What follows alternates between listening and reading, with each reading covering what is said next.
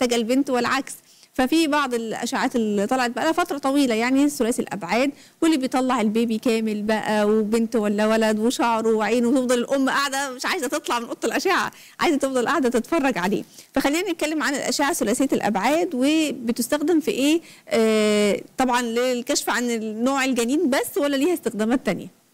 تمام يعني نحن الحمل ال- الوسيلة المفيدة بالنسبة لتصوير الحمل هي ال echo ال ultrasound. وال ultrasound أنواع. في منه ultrasound عادي في منه ultrasound ثلاثي الأبعاد وبعدين طوروا مؤخرا ultrasound رباعي الأبعاد 4 D.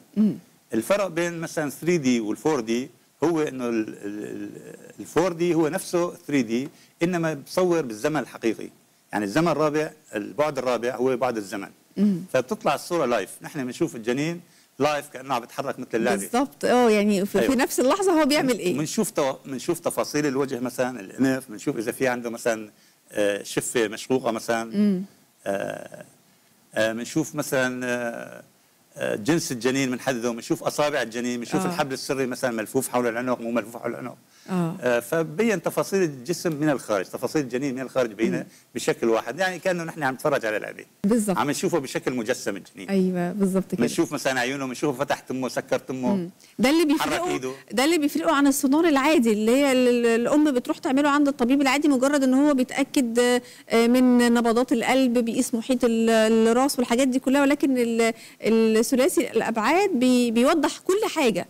تمام هو نفسه ثلاثي الأبعاد أو رباعي الأبعاد فيه ثنائي البعد يعني two dimension فالطبيب بده مثلا بشوف الجنين بال two dimension بالبعدين.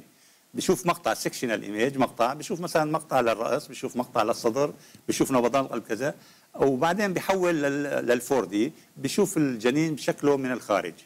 شكله مجسم يعني بشوفه. إيه. فهو نفسه الجهاز نفسه الجهاز في عدة آه خيارات. أنا بشوفه على 2 D بشوفه على 3 D بشوفه على 4 D. آه، يعني هو معاه ثلاث خواص في الجهاز ن- واحد. نفس الجهاز، نفس آه، الجهاز. نفس الجهاز. نفس الجهاز. طيب فكرة إن النوع الجنين بيظهر معاه من أول شهرين دي تمام، يعني تمام. دي دي صحيحة ولا لأ؟ تمام تمام. هلا تشخيص جنس الجنين؟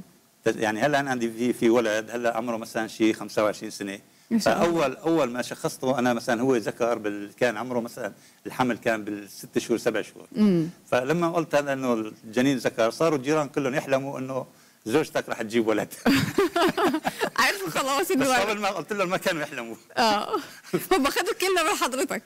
في مريضة ثانية مثلا صورتها مثلا قلت لها مثلا عندك صبي. صارت مسكينة كل أسبوع تيجي تصور عندي. كل يوم فرحانة كل أسبوع. آه. تقول لي شو والله الصبي ترجع كانت أسبوع شو؟ ما هي مشكلة. فهي من فرحها صارت كل أسبوع تيجي آه. تصور. هم الدكاترة لما عارفين. عارفين نقطة ال- الستات في دي هي هي تفضل رايحة جاية بقى تكشف متأكد لي ولد ولا بنت. تمام. المسكينة كان عندها ست بنات فالخبر كان عندها كثير صار إنه مثلا صبي. ما شاء الله. يعني من فرحتها صارت كل أسبوع تيجي تصور وتدفع معاينة تأكيد. تسالني شو والله الصبي زيادة تاكيد بالظبط. طب هي نقطة فعلا ولد ولا بنت؟ دي بتبقى حكمانة بشكل كبير يعني نظرا للعاطفة ونظرا لحاجات كتير جدا. ولكن أنا عايزة أتكلم بقى في, نقطة تحديد تحديد نوع الجنين فعلا. بيتم فعلا حضرتك قلت ممكن من أول شهرين وده اللي بيخليه يختلف عن أجهزة السونار العادية. لأن في بعض دكاترة النساء مش دكاترة الأشعة بيعملوا سونار ويقول مثلا بنت. وتيجي يفضل بنت بنت لحد الشهر التاسع يقول لها آه معلش يا مدام ده طلع ولد. فالازمه هنا بتبقى إزاي؟ ولا إيه؟ بيبقى الجنين مش واضح؟ ولا إيه اللي يخلي طول الشهور بنت وفجأة في التاسع بقى ولد؟ لا هو الموضوع مو هيك الموضوع هي بتعتمد يعني هو ال ال ال ال الإيكو هو نحن بنسميه بالنسبة لل- للطب للعلم هو operator dependent يعني بيعتمد على الفاحص. يعني الماكينة اللي عم تشغلها اللي عم تفسر الصورة هو اللي يقرر. فمثلا مثل هيك شغلات عم تقول مثلا آه البنت طلعت صبي فهو اعتمد على الشكل. أحيانا مثلا الشكل بيكون متشابه أحيانا في زيادة هرمونات متشابه بس كمان في علامات ثانية لازم الطبيب ينتبه لها ويشخص إنه هذا ذكر أو أنثى. آه. يعني في علامات بتميز بين الذكر أو أنثى بين تشخيص جنين. مم. ممكن بالتو دي واحد يشخصه ولكن الفور دي يعني بيعطينا صورة مجسمة كاملة. واضحة. هون عم بيعطينا مقطع. فال2 دي عم بيعطينا مقطع بينما 3 دي عم بيعطينا شكل مجسم. فممكن بالنسبة لتشخيص جنس ال- الجنين ممكن يعني بالشهر الثالث ممكن يتشخص. مم. بالسونار العادي ولا بالثلاثي الأبعاد؟ بالسونار العادي وبالثلاثي الأبعاد. آه. هي بس إحنا دايما كنا بنسمع كلمة كده من دكاترة لما تيجي تكشف الست تقول له عرفني نوع الجنين يقول لها معلش أصل هو وضعه الآن ما أقدرش يخليني أحدد نوعه إيه.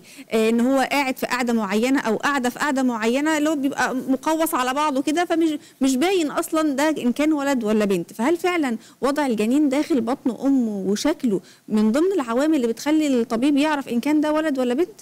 ممكن. مم. ممكن كمية السائل المحيطة بالجنين تلعب دور. آه. إذا كانت كمية السائل كبيرة حول الجنين بيكون التشخيص أسهل. وضعية الجنين كمان ممكن تأثر إلى حد ما إنما الطبيب بناور يعني عدة مناورات لبين ما يصل للمقطع المطلوب. تمام. طيب أنا عايز أعرف من